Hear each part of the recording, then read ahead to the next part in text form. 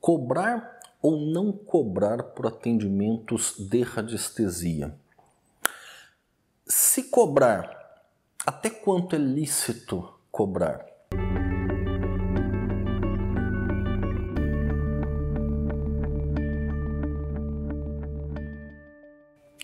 Eu sou o Sérgio Nogueira, do radiestesia.net, e nesse vídeo eu vou mostrar aqui diversas nuances sobre a questão da cobrança em radiestesia.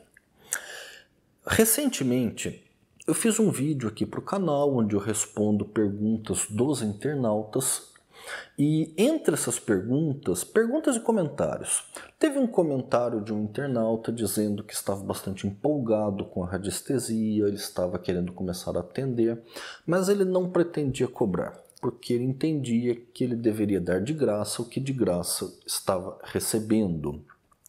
Que eu entendi como sendo a, radiestesia, a sensibilidade radiestésica em si, que provavelmente a pessoa entende até como um dom.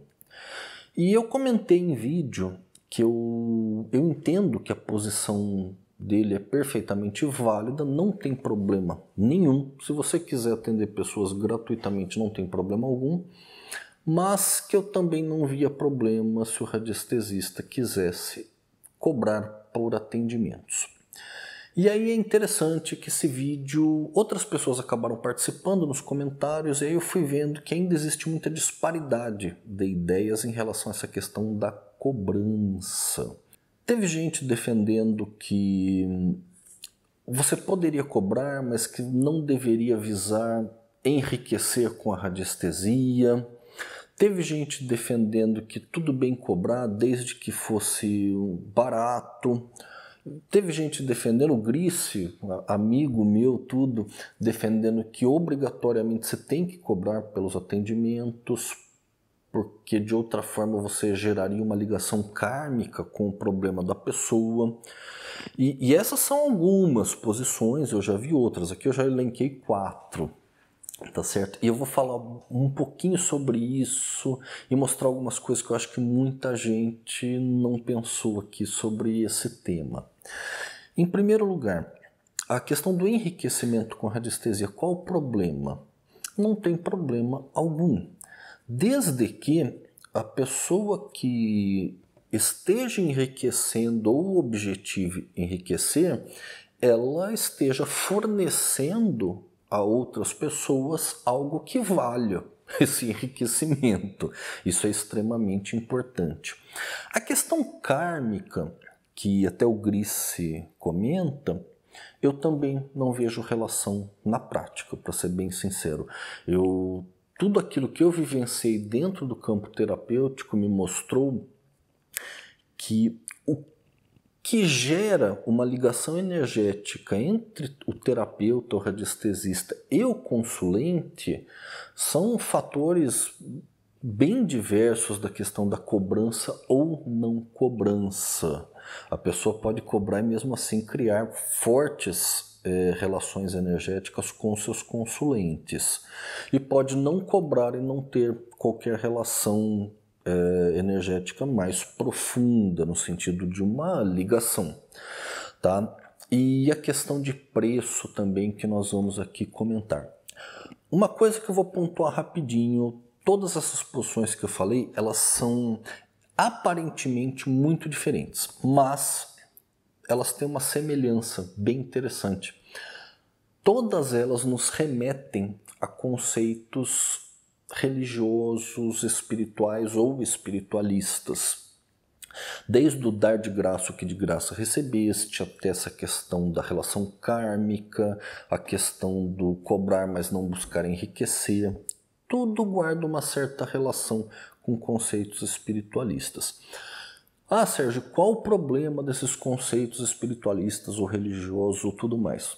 Absolutamente nenhum. Você pode é, seguir uma série, você pode criar ou trabalhar de acordo com os seus preceitos e tudo mais, não tem problema algum. Eu só não entendo que deveria ser o parâmetro para outros radiestesistas e para toda a classe, tá certo? Então, eu vejo que isso meio que aproxima da radiestesia, desse campo mais místico. E a radiestesia, acho que nós temos uma dificuldade muito séria para posicionar a radiestesia no mercado por uma dificuldade que nós temos de entender que a radiestesia, no fundo, no fundo, ela é uma atividade semelhante a diversas outras atividades e o radiestesista é um profissional semelhante a diversos outros profissionais. Todas as áreas nós temos pessoas que cobram preços muito baixos, preços médios, preços altos, preços muito altos e profissionais que também oferecem serviços diferentes, graus diferentes de qualidade e tudo mais. Então, qual que é a, a grande dificuldade que nós temos na radiestesia? Primeiro, entender essa, essa questão que nós somos, na verdade, muito parecidos com outros grupos profissionais. Segundo, entender que existe diferença entre cursos de radiestesia, produtos de radiestesia, profissionais de radiestesia. Existe diferença de qualidade, de aprofundamento, de grau de conhecimento, qual tipo de serviço oferecido. Tudo isso gera um diferencial muito grande. E sim, isso vai contar também nos valores que esses profissionais praticarão okay? no dia a dia. Isso é perfeitamente normal. Então, vamos pegar aqui, por exemplo, arquitetura. Eu conheci arquitetos que cobravam um determinado valor fechado para um projeto. Eu conheci arquitetos que cobravam cinco vezes mais do que os primeiros. Eu conheci arquitetos que cobravam 10% do valor do imóvel para um projeto. Eu conheci engenheiros que cobravam preços mais módicos, engenheiros cobravam preços maiores. Então, disparidade de preço existe em todos os campos. E nós devemos entender isso de uma forma mais natural. Eu vejo muita crítica, às vezes, em relação a isso. Ah, o fulano cobrou X e outro cobrou Y, e esse Y era cinco vezes mais. Então, aquele é careiro, ele que está errado. Não necessariamente. Eu acho que o que realmente determina o quanto que um radiestesista vai cobrar na prática é, são fatores como o grau de conhecimento que ele tem, o tipo de serviço que ele oferece, algo que nunca é discutido muito, mas o grau de acompanhamento que ele vai prestar ao consulente durante toda essa etapa. Mas nesse ponto eu gostaria que vocês se atentassem realmente ao fato que a, a gama de serviços que podem ser oferecidos são muito amplas, é muito ampla, e isso pode ter graus variados de preço. E não existe um problema é, um problema diretamente atrelado a quanto que um radiestesista cobra, se ele cobra pouco, se ele cobra muito. Eu conheço radiestesistas que eles cobram um valor baixo e que é justo pelo que eles oferecem. E não raro é um trabalho mais simples de radiestesia. E conheço radiestesistas que cobram bem mais, mas que oferecem também um trabalho bem mais aprofundado como é em toda profissão, como eu falei, caso de, de arquitetura e tudo mais. Ora, gente, tem pessoas que reclamam às vezes que ah, tem radiestesista que cobra caro, deveria cobrar mais barato. Olha, eu já encontrei pedreiro, por exemplo, que cobrava um valor que eu não podia pagar. Eu tive que me contentar com outro profissional. E assim é dentro de todas as áreas. Então nós não podemos querer estabelecer um padrão que nivele por baixo. Se você é radiestesista, você deve ter algumas coisas em mente também em relação ao quanto você cobra. Eu vou falar isso mais aprofundadamente em outro vídeo. Mas entenda que como radiestesista você é um profissional autônomo, na grande maioria dos casos, você deve cobrar um valor que garanta dignidade para você. Grande problema que nós temos, a ideia da missão Nós achamos que nós temos uma missão e por causa disso nós temos que praticar o nosso trabalho em qualquer preço, qualquer valor e tudo mais. Eu passei por isso. Eu sofri muito por causa disso. Eu tive sérias dificuldades por causa disso. E isso só melhorou quando eu comecei a entender que a minha missão ela também estava relacionada aos meus filhos, ela também estava relacionada à minha família, ela estava relacionada ao meu entorno também. Eu também tinha uma missão com eles, eu também tinha uma missão comigo, eu também tinha que valorizar o meu trabalho.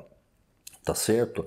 Então, nós temos essa dificuldade, mas nós devemos ter em mente que um atendimento ele deve suprir as suas necessidades, o seu ganho, o seu, esse é o seu ganha-pão. Então você deve dimensionar um valor. Eu, eu sou contra cobrar pouco, eu sou contra cobrar muito, eu sou contra fazer um preço baratinho, eu sou contra ser caro. O importante, na minha opinião, é que você tenha um preço justo e tem uma série de fatores que entram nessa questão do preço justo. Considere comigo apenas o seguinte: é, eu só falo de muitos anos que eu atendi em consultório. Eu passava dificuldade todo ano, de dezembro a fevereiro, ou de dezembro até o carnaval. Dezembro, os consulentes começam a parar de frequentar consultório, todo mundo começa a se concentrar no Natal, Ano Novo, tudo mais. Depois entra aí janeiro, tinha questão de filhos, escola, muita gente de férias. Para terapeuta é terrível esse período e eu sofri muito com isso. Então, quando que eu ultrapassei isso? Quando é que eu consegui ter um pouco de sossego nessa parte? Justamente quando descobri que meus atendimentos eles tinham que ter um percentual acrescentado em cada atendimento que eu deveria ir reservando ao longo do ano, eu ia guardando uma poupança para poder passar esse período. Então, esses são alguns aspectos que nós devemos levar em conta quando nós pensamos na questão do preço, quando nós pensamos na questão do valor. E se você está nessa onda de que tem que cobrar baratinho sempre, você não vai fazer isso e vai passar dificuldade. Olha, eu conheci muita gente que discordou de mim lá atrás e agora, nessa fase de pandemia, entrou em contato comigo e falou assim, você tinha razão, cara. Agora a questão é, como que você consegue se preparar para isso se o seu valor ele também não permitir que você tem essa determinada folga, por assim dizer. Então, pessoal, é isso. Ó. Nós temos muitas coisas, muitos detalhes nesse aspecto de cobrança. Eu, sinceramente, gostaria que você refletisse com muita calma. Coloca aí nos comentários também o que, que você acha sobre esse tema. O que, que você acha de enriquecer com a radiestesia? Quanto você acha que um radiestesista ele deveria ter em termos de percentual aí a mais para segurar essas broncas aí, tipo a pandemia agora, umas férias forçadas aí de final de ano? Coloca aí nos comentários, nós vamos conversando. Gostou desse vídeo?